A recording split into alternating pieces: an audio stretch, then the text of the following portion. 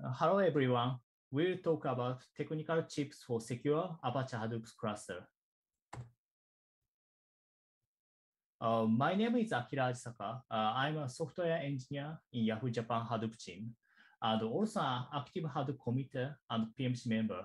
Last year, I talked about upgrading HDFS to 3.3.0 in ApacheCon, and in ApacheCon Asia, now we will talk about Hadoop security. Uh, first, I'll talk about the overview of this session. First of all, I want to ask you a question. Do you know how Hadoop cluster is secure by default? Uh, the answer is no. Without Kerberos, uh, Hadoop is vulnerable. An attacker can easily impersonate two super users, such as HDFS and YARN user, uh, if the cluster is configured without Kerberos authentication. Uh, this talk is for users and administrators who want to know more things about Hadoop security. We investigated many features related, related to open source Hadoop security, uh, including Hadoop systems such as Hive, Spark, Tez, Oozie, Livy, and so on. We mainly talk about two big topics. The first topic is wire encryption in Hadoop ecosystem. And the topic will be talked by Mr. K. Kori, the second topic is HDFS transparent encryption. I'll talk about this topic. Uh, sorry. Uh, Kori-san, would you start your presentation about wire encryption in Hadoop system?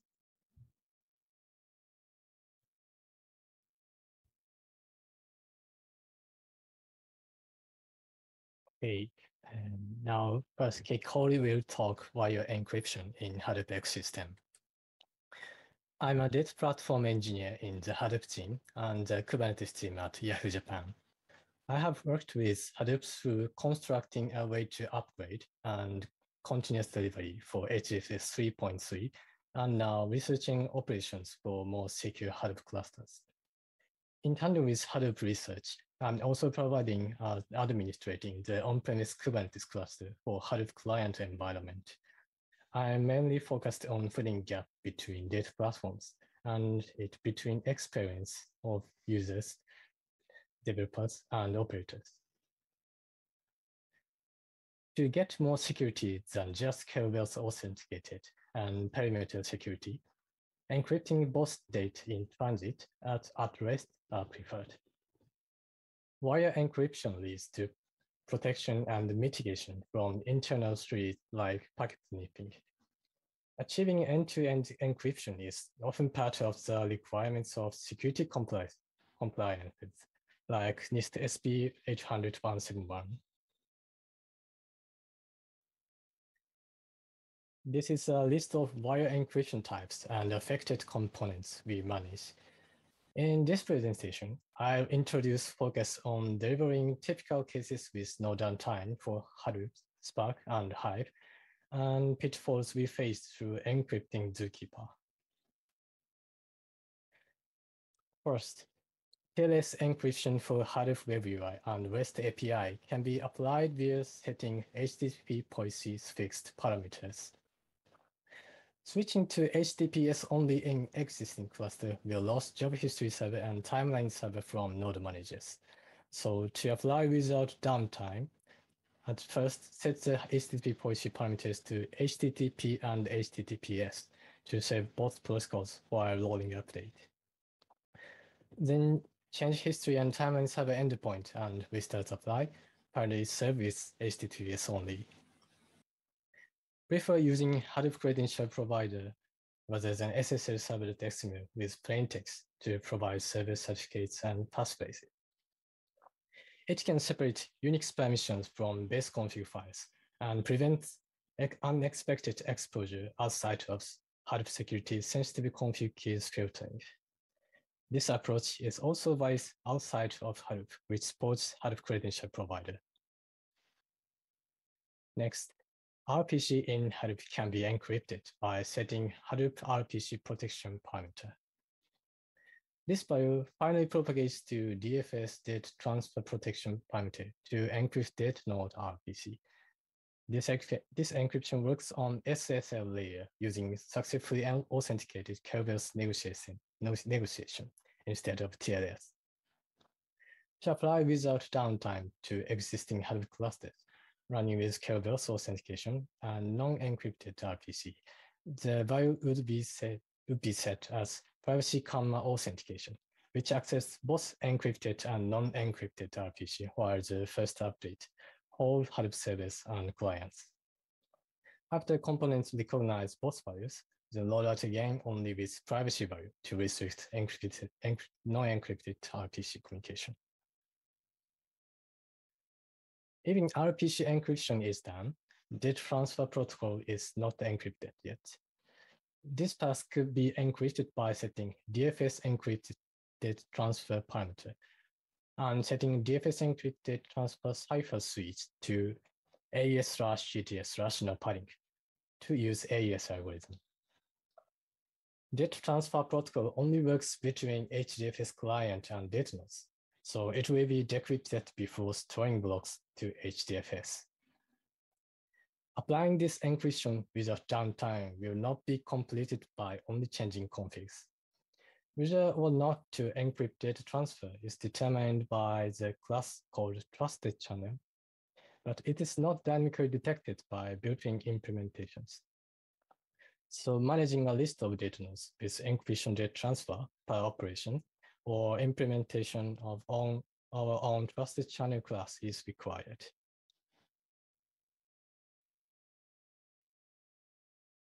So Spark could enable encryption across several layers with these parameters, as I have talked about Hadoop. But Spark history cannot serve with both HTTP and HTTPS, so application history may fail to persist while switching its protocol. On RPC encryption, it can be zero downtime through taking steps without Spark Network SSL server always increase parameter. Spark IO encryption enabled parameter for shuffle encryption, not only in transit, but also persist into HDFS or local disks. Encryption for Hive workloads uses both TLS and SSL encryption through the client to state store. SSL protocol encrypts JDBC connection between client and Hive with binary mode, and Thrift protocol between client and Hive metastore. If there are Hive server 2 with HTTP mode, TLS encryption is used instead. Another JDBC connection between Hive server 2 or Hive metastore and remote RDBMS like MySQL is also preferred to be encrypted. And below them, shuffle-in execution engines use TLS encryption. It requires valid service certificates per all node managers. From here, I will introduce the challenges we have encountered. Unlike node manager daemons, which launch as Yarn Unix user on each node, application master and Spark driver processes run as uh, the user who submitted their job in the Unix namespace. This means server certificates for them also must be read by the user. Otherwise, plaintext HTTP communications still remains inside the Hadoop cluster. In general, web UI of application master and Spark driver on cluster mode will not be accessed directly, but via a web application proxy in resource manager. So the accessing them from users seems secure at a glance, but communications between resource manager and application master are still plaintext as a fundamental solution since Spark 3.0 and MapReduce 3.3, users can bundle their own certificates to submission, but Fortes is not supported yet. Finally, I share encryption for Zookeeper servers and clients and restrict anonymous requests for them. Zookeeper does not respect encryption levels like privacy or AuthConf or SASL QOP. So we choose TLS for encryption and remain SASL for authentication and HCI with parameters below. Serving and communicating Zookeeper with TLS using Netty is supported since version 3.5.6. And we found that Zookeeper server could not omit plain text port to launch, to launch and the upgrading procedure with no downtime fails. We fixed it and contributed as Zookeeper 4276. It's not being merged for now. Connecting Zookeeper server with TLS also requires version 3.5 or 6 or above for clients. We rebuilt affected components with replacing Zookeeper dependency to 3.5.6. Apache Curator and Jetty dependencies also be updated. Then for connecting with Jetty and TLS, we append JVM arguments here to each Hadoop client. After that, we have noticed that Zookeeper servers could accept requests without Kerberos authentication and try to restrict them.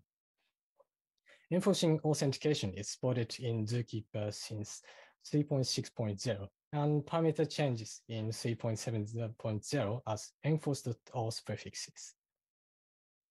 Restriction led a side effect that job submission from Hive CLI and Oozie Hive action, which has no authorization or delegation, failed to connect Zookeeper when acquiring the lock for Hive Metastore.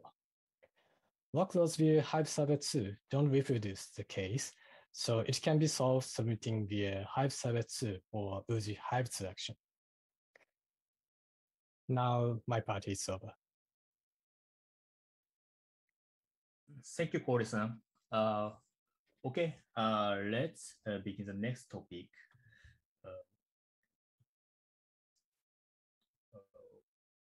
wait a minute. Okay. Uh, okay. Uh, oh, uh, I will talk about the HDFS transparent encryption and what you need to consider when deploying them in production. Uh, first, I'd like to introduce the background of HDFS transparent encryption.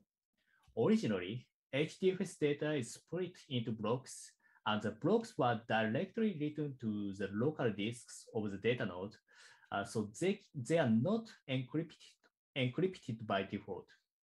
Nowadays, there are some regulations for data encryption, such as PCI DSS or NIST.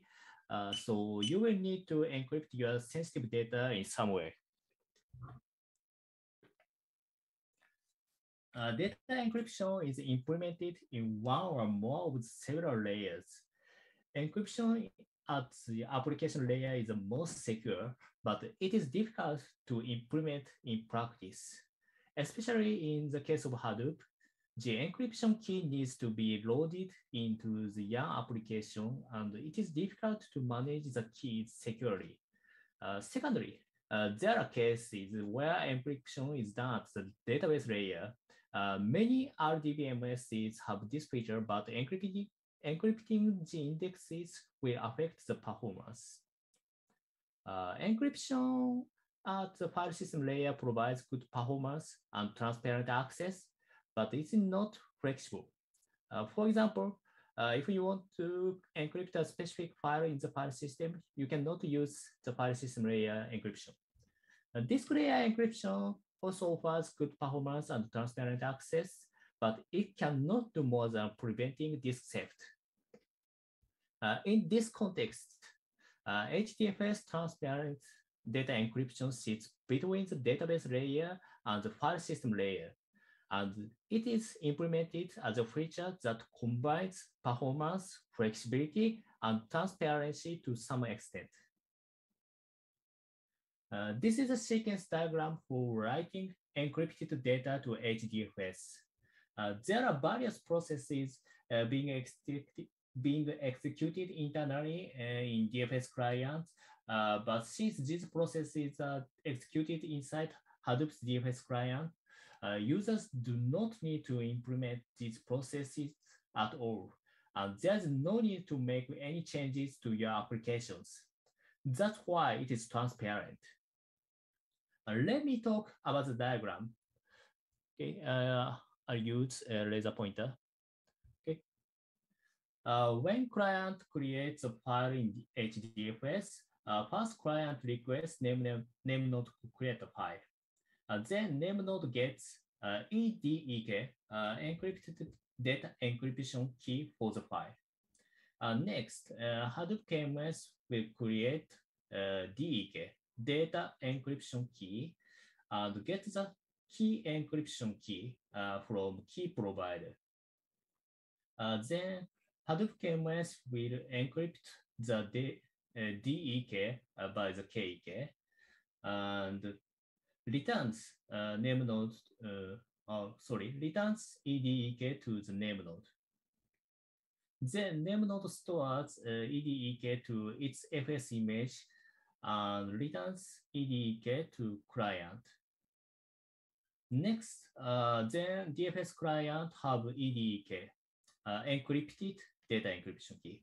Uh, next, DFS client will uh, asks uh, Hadoop KMS to decrypt the EDK and return the DK. finally, DFS client will encrypt the data by the data encryption key and write encrypted data to data nodes. Okay. Uh,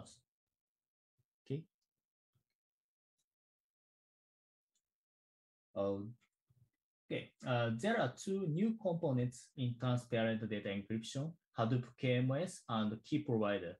Uh, in this presentation, I'll show you how to configure Hadoop KMS and key provider in production. Uh, first, let's talk about key provider. Key provider itself is an API provided by Hadoop, and Hadoop provides its implementation Java keystore provider. Uh, in, it, in this implementation, KEKs, uh, key encryption keys are stored as JCEKS files uh, in Hadoop compatible file systems, uh, such as local file system, HDFS, S3, and other cloud storages. However, the Java keystore provider is experimental and requires careful handling of passwords, and the JCEKS file itself is not encrypted in many of the Hadoop compatible file systems. For that reason, uh, it is not recommended in production environments. Uh, Apache Ranger uh, is an open source framework to enable, monitor, and manage comprehensive, comprehensive data security across the Hadoop ecosystem, and Apache Ranger provides Ranger KMS. Uh, in Ranger KMS, Ranger keystore provider is used, and it is also an implementation of the Hadoop key provider API.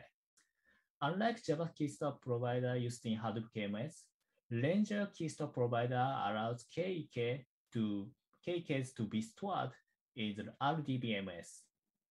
KEKs are encrypted by the Ranger master key, and the Ranger master key is stored in plain text in the RDBMS by default. Uh, on the other hand, the Ranger master key can be stored in Luna hardware security module uh, in order to meet some requirements such as PCI DSS and FIPS. So do you have to use Ranger KMS and hardware security module or other vendor solutions uh, to BC, uh, such as Cloudera, to be PCI DSS compliant? Uh, no, we, uh, you don't have to. Uh, if we, your company has a company-wide key management infrastructure, uh, you can extend key provider API to work with it. The key provider API itself doesn't have many methods, so many methods, and in fact, there are only three methods that need to be implemented if you just want to use it for HDFS data encryption. Uh, the rest of the methods are also useful for operations, but they are not required. Uh, so I'd like to say the minimum uh, is three methods.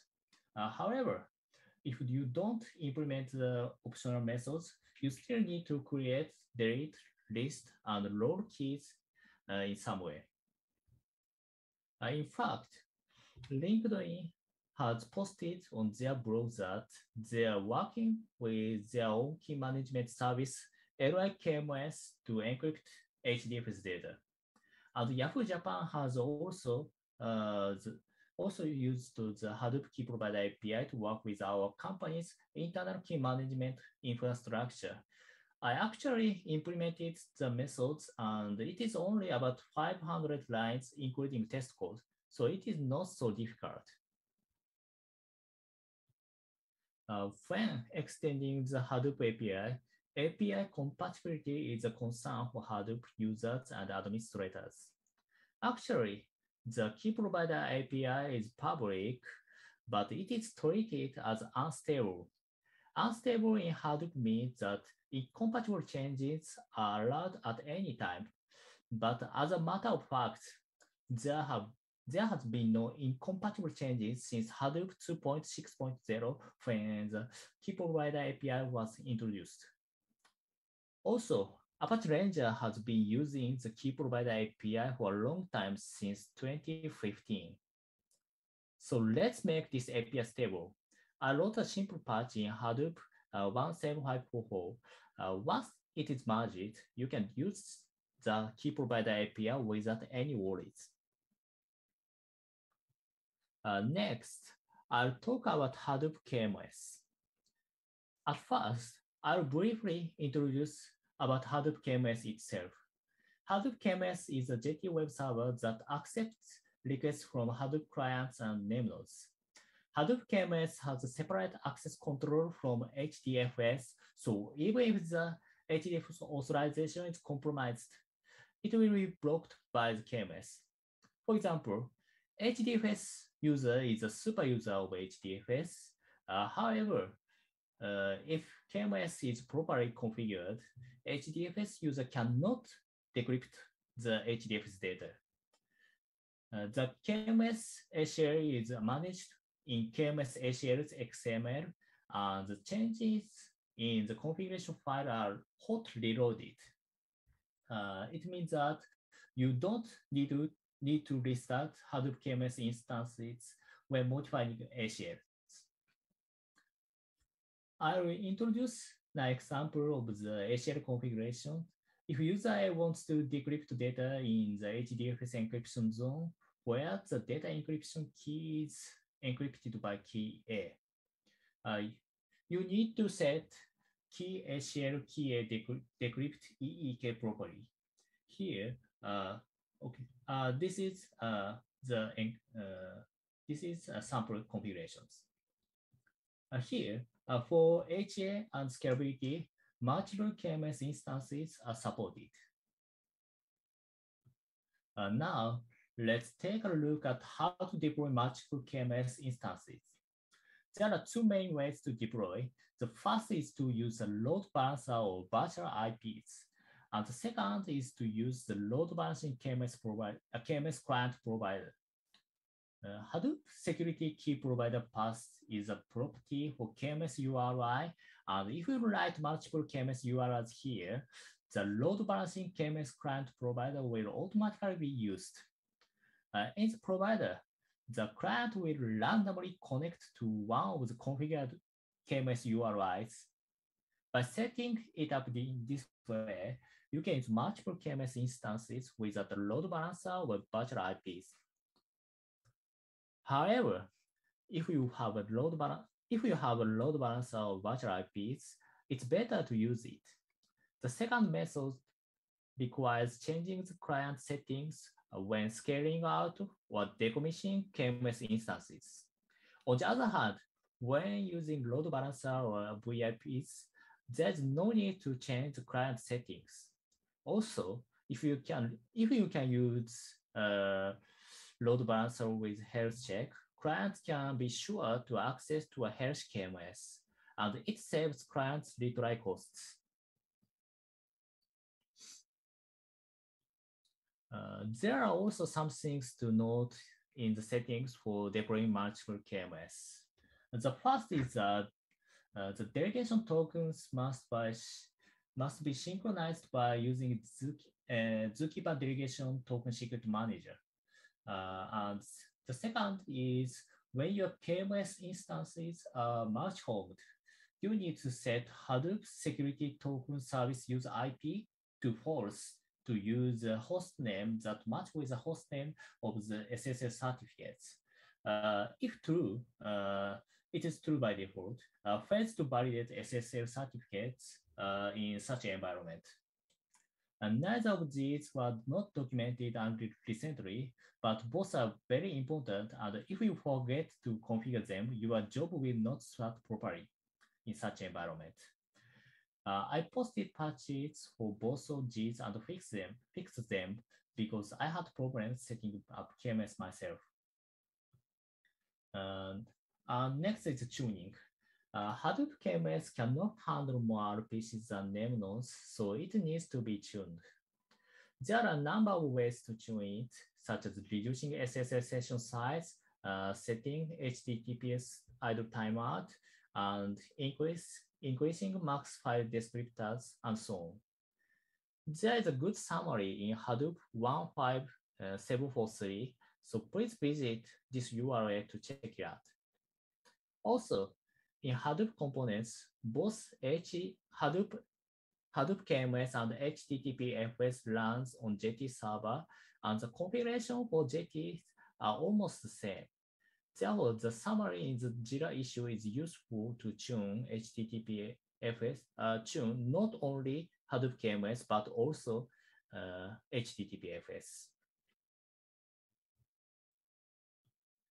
Uh, now, I would like to summarize HTTPS transparent data encryption. Uh, there are a lot of things to keep in mind when setting, it, setting up this feature. How will you manage your KEKs? Uh, will you use Ranger KMS or will you integrate uh, Hadoop KMS with your internal key management systems? Uh, secondly, how, will, how will you deploy multiple KMS instance, instances we introduced two methods to deploy multiple KMS instances using a load balancer or lining up host names in the client configuration. Also, tuning the KMS may be required. You need to be careful in setting up encryption zones, uh, KMS ACLs, and proxy server uh, impersonate settings. It has been seven years since this feature was implemented in 2014, but this configuration is not straightforward. So please be careful in settings. Uh, in following slides, I will introduce other considerations for building and operating secure Hadoop clusters. Uh, let me introduce one of the latest features of Hadoop. In Hadoop 3.3.1, you can now update SSL certificates without restarting the daemons. In Jetty 9, hot reload of SSL certificates has been introduced. Almost all the daemons except data nodes rely on Jetty 9 by Hadoop HTTP server 2 class, so now Hadoop can use this feature. In particular, in a huge HDFS cluster, it takes more than 30 minutes for name nodes to restart, so this feature makes it much easier for operation. Uh, finally, we introduce the other considerations. Firstly, uh, it is important to be ready to upgrade at any time. Uh, it is because uh, is uh, sometimes published and the software vendors may want users to upgrade. Uh, so it is important to be ready to upgrade. Uh, secondly, the sec security requirements may increase or strong, increase and strong while or after building Hadoop cluster. So you need to prepare for that early. Note that you need to consider not only the configurations, but also the operations for Hadoop clusters. For example, there may be separated and dedicated operation room for security, uh, uh, secure, secure cluster. So you need to prepare that you can operate Hadoop clusters in such environment. Uh, this is the last slide. In this talk, we introduce many technical tips for secure Hadoop cluster. However, they might change in the future. You need to catch up with the open source community to get the latest information. Lastly, we talk about the future works. As Kori-san said, there is a problem in enabling, enabling HTTPS in application master and Spark driver web UIs uh, because of the permission problem in SSS, SSL certificates. Uh, there is another problem in KMS. Uh, sometimes KMS client cannot impersonate to real user correctly. And so we had to treat some users uh, such as YARN and Oozie as super users in KMS ACLs. Uh, we want to fix these issues later. So our presentation is finished and thank you for listening our presentation. Uh, any questions?